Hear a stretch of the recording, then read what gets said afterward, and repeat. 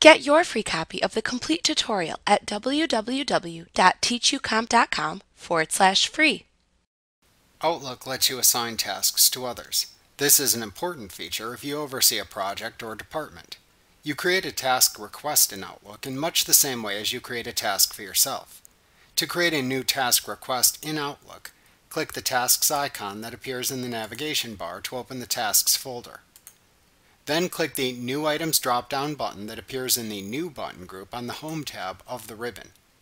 Then select the Task Request command from the drop-down menu. In the task window that opens, enter the task details as usual.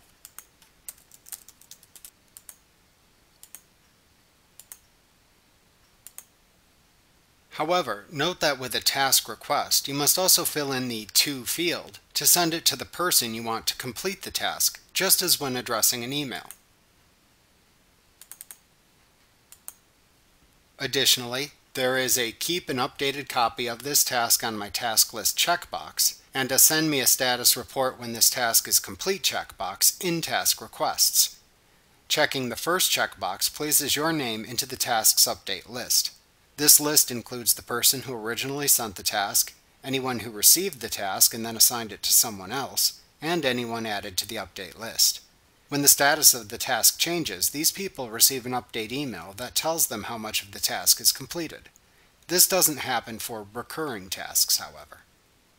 Checking the second checkbox automatically generates a status report for anyone in the update list when the task is completed to send the task request to the designated recipient when you finish setting its options, click the Send button in the Task Request window.